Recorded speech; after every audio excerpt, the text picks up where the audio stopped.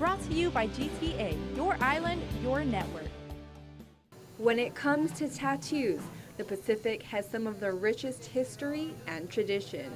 My name's Jodi Brooking and I'm here as part of the New Zealand delegation. Māori tattoo is an ancient art form um, that goes generations and generations back. Maori tattooing consists of patterns and symbols, such as the koru, symbols which often represent genealogy and history. The one that I wear on my face, it's called a moko kauae and it's only worn by females and um, it basically represents uh, my rank in my family. So I'm a younger of the female line, so I've got an older sister. Her inner wrist tattoos, meanwhile, represent her grandmother's. Then on the fronts of my wrists, I have the lower male face moko or tattoo, and um, they represent my grandfather's. Tattooing for 12 years, Brooking learned the art from her uncle. Mark Cooper, he's quite world renowned, and um, he used to previously come to these festivals.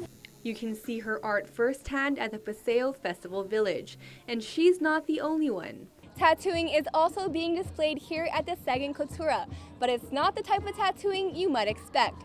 Samoa is displaying its traditional art form by using traditional tools and methods passed down for generations. I'm Su'a Sulape Peter from Samoa. Peter is a fourth generation tattoo artist. I started learning when I was eight. I didn't start tattooing until I was 21. He said traditionally Samoans used boar tusks as needles, but today he uses titanium needles instead.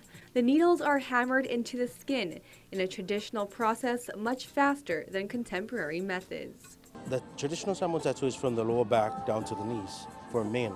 The women's is just the thighs to the knees. It's all about nature, a life of being a, a human being, life of being a warrior, being a server or uh, a protector in a family. So it really represents us as being human beings in our culture. So the ranking of if, if you're if you're a high chief, so it, re, it represents your ranking in, in the culture.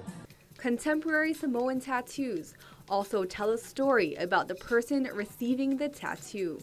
To learn more or view Peter's art firsthand, you can visit Sagan Cultura Chamorro at Ypao Point throughout FestPac. Reporting for Guam's News Network, I'm Isa Baza. Brought to you by GTA, your island, your network.